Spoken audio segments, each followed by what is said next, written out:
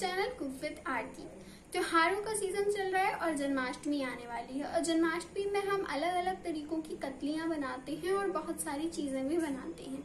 तो इसीलिए आज मैं आपको बना, बनाना सिखाऊँगी गोले की कतली। बहुत ही टेस्टी होती है और स्वयं कृष्ण जी को भी ये बहुत ही पसंद होती है। तो इसीलिए मैंने सोचा कि आप लोगों के लिए मैं आज बनाऊँ गोले की कतली। तो चलिए देखते हैं ये गोले की कतली हम कैसे बनाएँगे। सो so गाइज़ जो हम गोले की कतली बना रहे हैं, वो ऑब्वियसली बनेगी गोले से ही। तो यहाँ पे मैंने जो सूखा वाला गोला होता है, वो ले लिए थे। तो सूखे वाले मैंने गोले, चार गोले लिए थे मीडियम साइज़ के।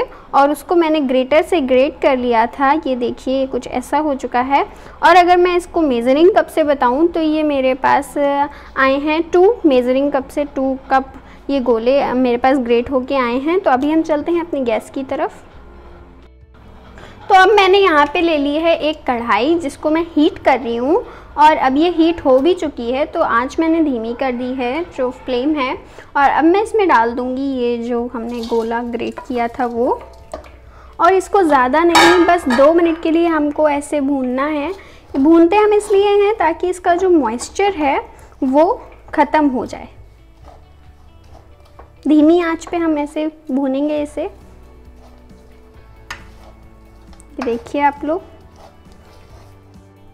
सो so गाइज़ अब बनाएँगे हम इसकी चाशनी क्योंकि कतली है तो मीठी ही होगी तो चाशनी बनाएँगे और इसमें डाल देंगे हम। ये मैंने अभी एक कप चीनी डाली है मेजरिंग कप से और मैं इसमें अब आधा कप और डालूँगी। अगर आपको और मीठा रखना है तो आप और डाल सकते हैं। अदरवाइज़ इतना सफिशियंट है। तो अब हम इसमें आधा कप मेजरिंग कप से और पानी भी ऐड कर देंगे। और अब इसको हम चलाएँगे।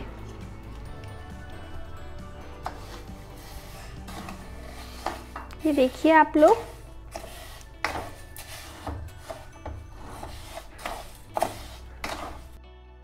सो गाइज़ ये देखिए, बस कुछ ही मिनट बाद मेरी जो चीनी थी वो मेल्ट होने लगी है। तो मीडियम फ्लेम पे ही मैंने इसे मेल्ट किया है और जब तक ये मेल्ट हो रही है और ज़्यादा, तब तक हम अपनी जिसमें कतली जमाएँगे। वो तैयार कर लेते हैं। तो यहाँ पे मैंने कुछ इस तरीके की थाली ले ली है, ये देखिए आप लोग। अगर आपके पास जो बर्फ़ी ट्रे आती है, वो है तो आप वो भी ले सकते हैं। तो अभी हम इसे ग्रीस करेंगे।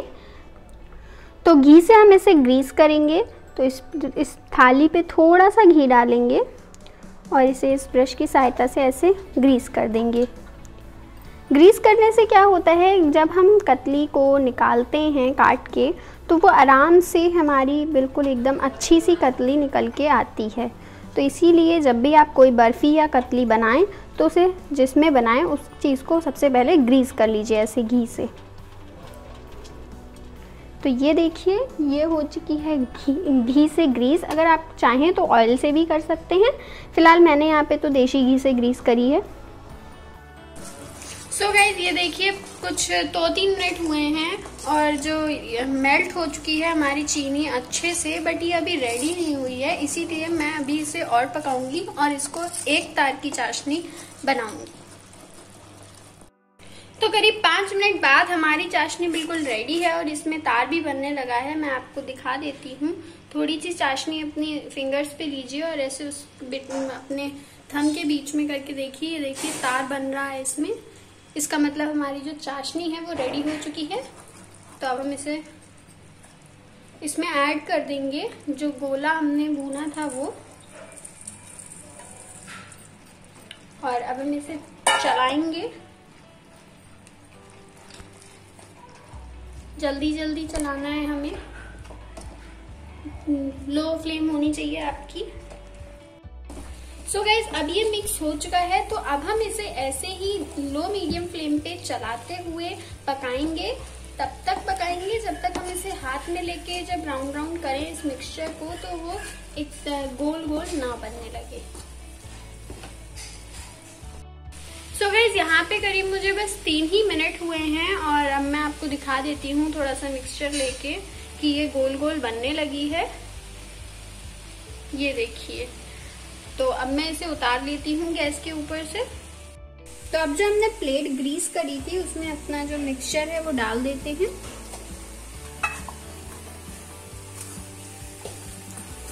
ये वर्क हमको जल्दी जल्दी करना है और इसको ऐसे मैं स्प्रेड करती जाऊँगी डालते डालते। इसको ऐसे हम स्प्रेड करेंगे। ये ट्रे को जो प्लेट है, उसको ऐसे घुमाते हुए। तो ये चारों तरफ़ स्प्रेड हो जाएगी। तो सारे मिक्सचर को मैंने इस प्लेट में स्प्रेड कर लिया है अच्छे से। अब मैं इसको एक स्पून की सहायता से ऐसे पुश कर रही हूँ ताकि जो पूरा मिक्सचर है वो एक लेवल पे आ जाए प्लेट पे और जब हम उसे कट करें तो वो अच्छे से निकल के आए। सो so गाइज़ ये हो चुकी है रेडी अब मैं इसे करीब 15 मिनट के लिए पंखे के नीचे छोड़ दूँगी। फ्रिज में रखने की कोई ज़रूरत नहीं है क्योंकि बहुत ही जल्दी जमने लगती है। तो 15 मिनट इसके लिए सफिशियंट है, ये अच्छे से जम जाएगी। तो 15 मिनट हो चुके हैं और हमारी कतली भी रेडी हो चुकी है। तो अब मैं इसे कट करूँगी। तो कट करने के लिए एक हम शार्प नाइफ लेंगे और उससे कट करेंगे। तो ऐसे हम इसको नाइफ को पुश करते हुए कट करेंगे। वाव आपको काटने से ही पता चल रहा होगा कितनी बढ़िया बनी है ये। तो लीजिए, हमारी गोले की कतली रेडी है और मैंने इसे आमन से डेकोरेट भी कर दिया है। आप जैसे चाहें वैसे डेकोरेट कर सकते हैं। बहुत ही टेस्टी होती है और बहुत ही अच्छा स्वाद होता है इसका। और जन्माष्टमी में ये बहुत ही बढ़िया रहेगी। सो so देखा ना आप लोगों ने, गोले की कतली बनाना इतना इजी था और इतनी टेस्टी होती है। मतलब ये तो वही बात होगी, छोटा पैकेट बड़ा धमाका इतना इजी और इतनी टेस्टी होती है, ये कुछ कहने की बात नहीं। तो इसीलिए मैंने आप लोगों को आज बनाना सिखाया है। आप लोग पक्का अपने घर पे ज़रूर ट्राई करिएगा। और अगर वीडियो अच्छी लगी हो तो प्लीज़ एक लाइक ज़रूर कर दीजिएगा और कमेंट बॉक्स में ज़रूर बताइएगा आप लोगों की कतली कैसी बनी और सब्सक्राइब कर दीजिएगा मेरे चैनल को फिर आरती को और बेल आइकन को प्रेस करना बिल्कुल भी मत भूलिएगा, क्योंकि उसी से मेरी आने वाली वीडियोस को नोटिफिकेशन आपके पास आएँगे। और मैं ऐसी ही कतलियों की वीडियो और बहुत सारी वीडियोस लाती रहूँगी आप लोगों के लिए। तो मिलती हूँ अपने अगले वीडियो के संग तब तक के लिए tata bye bye thanks for watching